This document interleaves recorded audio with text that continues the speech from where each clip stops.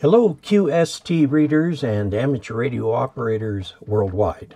I'm Dave Casler, amateur radio call sign KE0OG, and I am the author of the Ask Dave column in QST. This is the supplemental video for the November 2025 edition, and today we're going to talk a little bit about feeding end-fed dipoles. This is going to take a slightly different direction from the usual standard of using a 49 to 1 balun, and we're going to do this with a quarter wave closed matching stub. Let's take a look at how that works. Let's take a look at the whiteboard here. Now, if you take a piece of transmission line, let's say open wire line, Here's some classic uh, open wire line. This is the real stuff right here. This is usually called window line. It's 450 ohms, okay? And let's take a quarter wave of this at whatever frequency that we are looking at. So that would be from here to here is one quarter of a wavelength, taking into account that the velocity factor in the transmission line is about 0.95. Um, okay, this means that when radio waves, which are a form of light, travel through this transmission line, they do so more slowly than they do through the atmosphere or outer space. About 5% slower, as a matter of fact. Now let's watch what happens if we short this end. Okay, we're going to short it. So this end is open. That's the same as taking this right here, shorting it across, leaving this end open. And again, it's a quarter wavelength long. Now, the voltage at this point must be zero, right? Because it's shorted. So here is a quarter of a sine wave going up to here. Now, let's take a look at the current, okay? The current in here will be, oh, it may or may not be out of phase. It really depends. Let's just say it peaks right here and, and comes down like this. What is the impedance at any given point? The impedance is equal to the voltage divided by the current, taking into account, of course, the, the phase angle between them. Now, that means that right here, the impedance with E equals zero is going to be zero. Over here, where the voltage is at its highest and the current is at its lowest, we're going to have a high voltage over zero, which is technically equal to infinity. But of course, in real practice, when we don't have things quite in phase, it'll be less than that. It's still high, thousands of ohms still high. So if we have this quarter wave stub and we attach this to something right here, the impedance between here and here is going to be very high. And the voltage will be at a maximum right there. Now what can we do with this? Okay, if this is high and this is zero, there will be some point along here, let's say here, where the impedance is you ready for this? 50 ohms. Okay? 50 ohms right there.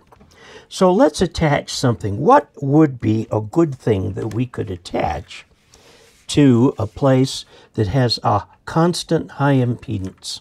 All right? Let's just make this a little smaller over here. And let's just say that right here we attach a one half wave uh, dipole okay? And we feed it right here. Do you recognize this? It's a J-pole. Okay, and the way it's fed is we find the 50 ohm impedance point and we feed it here and here. Technically, we should be using a balanced feed. So you can put in a uh, balun there if you want, a one-to-one -one balun. Okay, if you want to feed it at the 400 ohm point, you can put in a different balun, whatever you like. Okay, now this means that if you feed it here, you will have the power, all of the power still goes this way, and you're end feeding a dipole, and it will radiate. Uh, normally you see it, of course, in the vertical direction, where it looks like a J. Okay, this part up here is the half wave dipole. This part down here is often called the quarter wave matching stub. Really a matching stub, but it does exactly the same thing. It's a quarter wave piece of transmission line that we're using as a matching stub. Now, I'm talking about some things that are discussed in the Amateur Extra Licensing Manual. So, this is a little bit advanced, but I want to share a secret with you because many, many of you have already dealt with J poles. Can you do this at other frequencies than just 2 meters? And the answer is absolutely yes. Suppose I make this 33 feet long. Okay, so a half wavelength. So the full wavelength is 66 feet. That's 20 meters. Okay, now this down here would be a quarter of that, or 5 meters. All right, and would be, what's that, approximately equal to 15 to 16 feet. Now, we again find the 50 ohm point on here, which may take a little experimentation, but we will find it and you can feed it there. And a lot of these that I've seen are just fed with uh, coax at that point. In fact, MFJ used to make these. If you're going to do this at HF, it's easiest to string this as a, a half wave dipole, um, which would be 33 feet on 20 meters. Okay, 20 meter dipole. And over here, we hang the 16 foot matching stub. Okay, and we find the 50 ohm point right in here somewhere. It's zero here, and it's quite high right here. And we can feed an antenna this way. MFJ used to make this antenna. Interestingly, this point right here is also a high impedance with a high uh, with enough voltage and current that you could actually put another half wave dipole out here.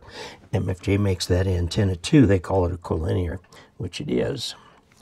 Okay, so again, the bottom line, this has been around for a very long time, the J-pole.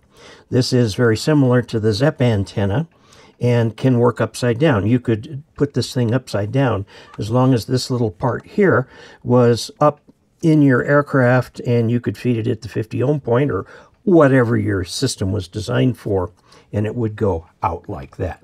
So the bottom line here is that end-fed half-wave dipoles have been around for a very long time, disguised as J-poles. Okay?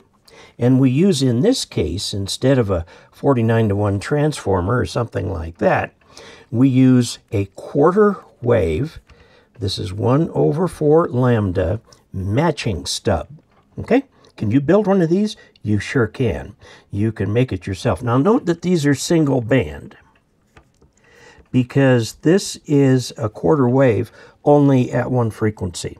All right. So we'd usually pick that to be like uh, 14.150, which is halfway through. And yes, this will cover the entire band uh, very nicely.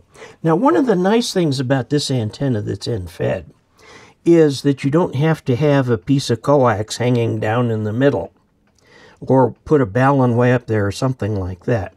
You can put this up, you know, I would put about three feet of rope between this and wherever you mount it, and this out in whatever direction you want, even as a sloper going either way. And then keeping this part up here, which is made of this window line, like this, keep this off the ground. If for some reason you can't get this thing up off the ground a lot, then pull it away or something at an angle so it's off the ground. And then a lot of people just feed this with coax. Is that the right thing to do? The answer is technically no, you want a balun here. But what a lot of people do is they'll build a choke balun with several turns of coax and then back down to your station. Okay, so there you have it, a very quick look at an end-fed dipole that's been hiding in plain sight for many, many, many years, fed with a quarter wave matching stub. And you can do this really with uh, an antenna at any frequency. However, if you start doing it at uh, lower frequencies, like 40 meters, you're going to end up with a pretty long matching stub. And you can't just coil it up. You've got to, to spread the whole thing out there.